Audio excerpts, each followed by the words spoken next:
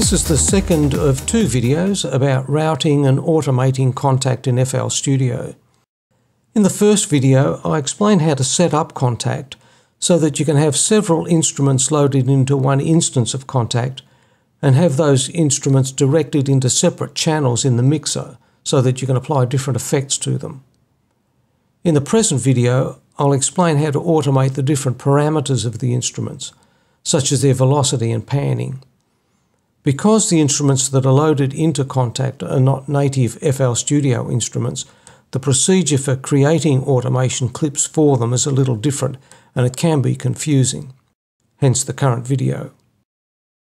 As I mentioned in the previous video, there is a free version of Kontakt available. It's called Kontakt Player. And again, I'll put a link to this in the description in case you want to download it and give it a try.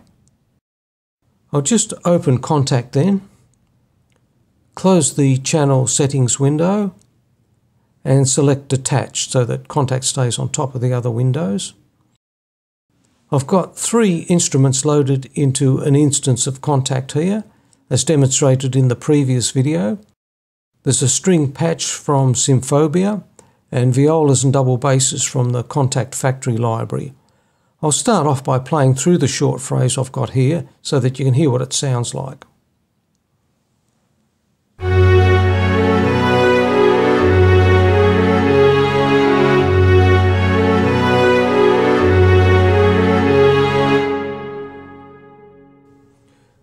Begin by adding some automation to the viola ensemble. In particular, I'll automate this chord knob here, so that in the second half of the phrase the violas play in thirds. Since they'll be playing in thirds, we need to set the key and the scale. The phrase is in F sharp minor, so we change the key to G flat and the scale to minor. Now, how to automate the chord knob.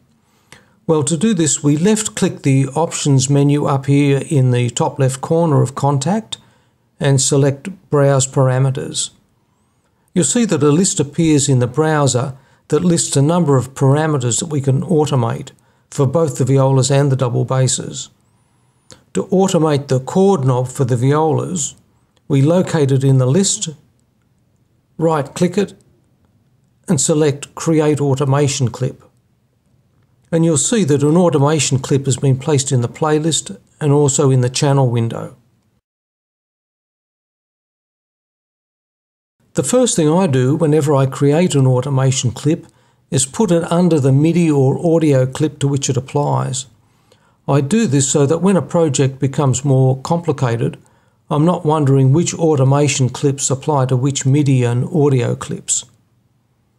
If you prefer, you can place the automation clip on top of a MIDI or audio clip in the playlist, but I find it easier to see what's going on if the automation clips are visible on their own playlist track.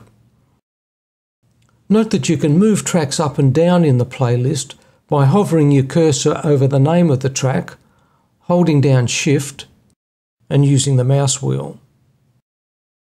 I also do the same thing in the channel window. Note that you move channels up and down in the channel window by holding down Alt and using the keyboard arrows. Another point worth noting, if you find you need to adjust the volume of an instrument, you might find that you can't do this on the instrument interface. If I change the volume of the violas here on the interface, for example, you'll see that when I hit play, it springs back to its default volume.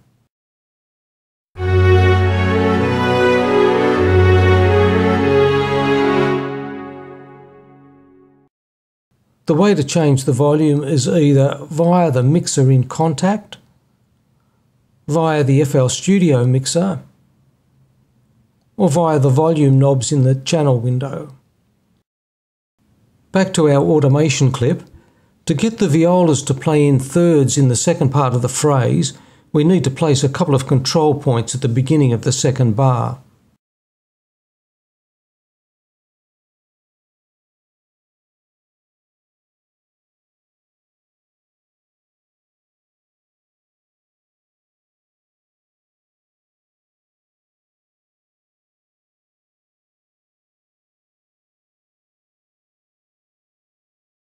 You'll see that as I move the control point up and down, the chord knob changes. For our purposes, we need to leave it at the level where thirds are showing.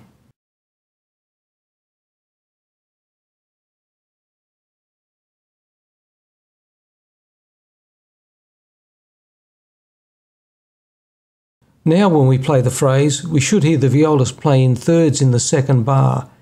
And if you look at the control knob, you'll see it changes at the beginning of the second bar.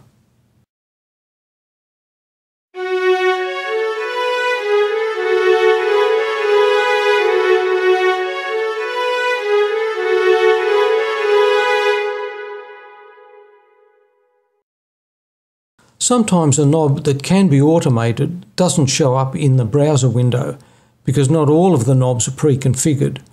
For example, the random pitch knob here doesn't appear in the browser window.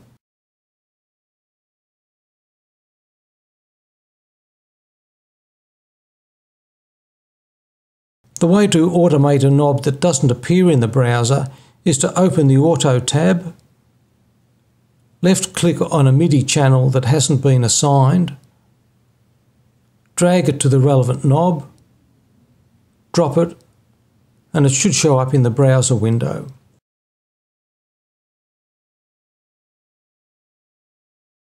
You can then just automate it in the normal way. We won't be automating the pitch knob, so we can remove the assignment down here. Finally, I'll show you how to apply automation to the Symphobia patch using the mod wheel on your MIDI keyboard or MIDI controller. And again, you can apply this to other plugins apart from Kontakt. The particular Symphobia patch that I've chosen is Sustain Vibrato DXF, DXF standing for Dynamic Crossfade. This has several velocity layers that can be employed using the mod wheel. We'll use it to get that nice swelling effect from the strings at the end of each chord. I'll solo the Symphobia strings so that you can hear what they sound like.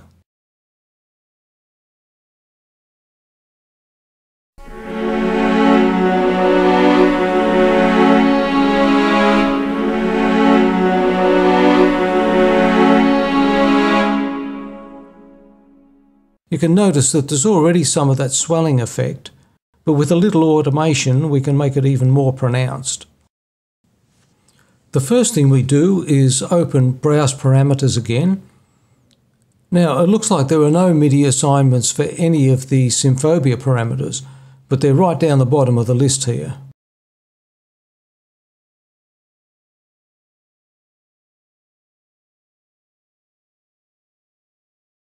You can see that the second one down is the mod wheel. We right click on this and select Link to Controller. Now you'll see that this little window opens. We just change the port to 0 and confirm that the channel is 1 because it's the Symphobia patch that we want to automate. Then you simply move the mod wheel on your keyboard or MIDI controller and the link will be established automatically. If you look down here, you'll see that I can now control the mod wheel on the Kontakt interface with the mod wheel on my MIDI controller. I'll play the Symphobia strings again and use the mod wheel on my keyboard to control the mod wheel on Kontakt's virtual instrument.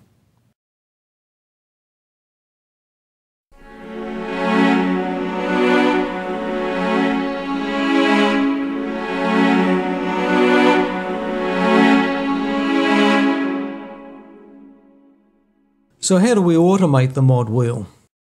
Well, we have three options at this point.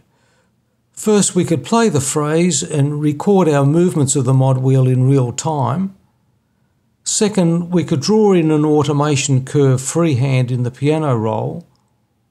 Or third, we can create an automation clip as we did with the violas. I find the first two options a bit finicky, so we'll create an automation clip like before. First, we open up the browser list again.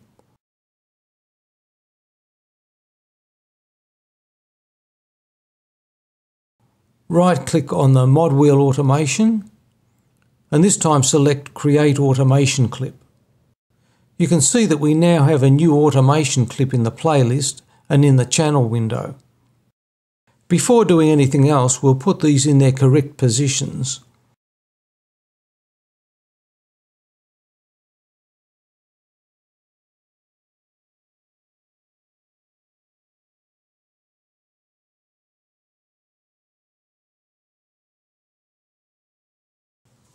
Now I'll just quickly add some automation to the clip.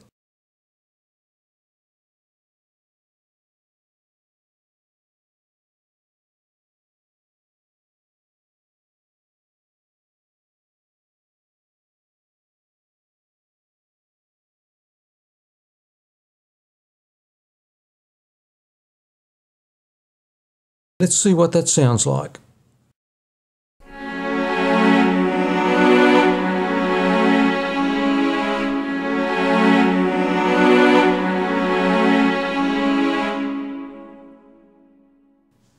Okay, that's about it. Thanks for watching and feel free to leave a comment.